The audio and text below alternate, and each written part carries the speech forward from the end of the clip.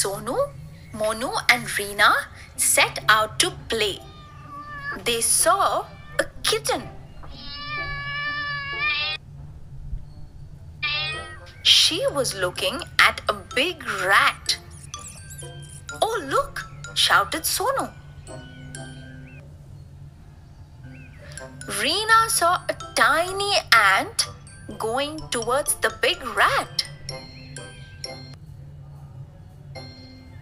Suddenly, a very big shadow fell upon them all. A very big eagle came down to the wall. A tiny ant, a small kitten, a big rat, and a very big eagle in the same long street. What would the three clever children do now? They clapped their little hands.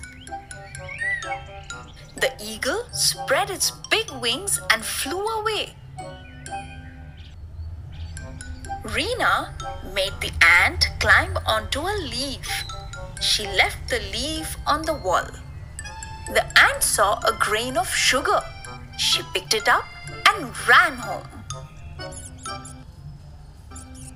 The big rat picked up a half eaten pakoda and went back into the drain. The small kitten said meow and started licking her paw. Monu got her some milk in a cup. The three kids played with her. The very big eagle sitting on the tree blinked and flew far away.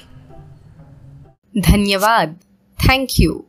If you like this video, do like, subscribe and share.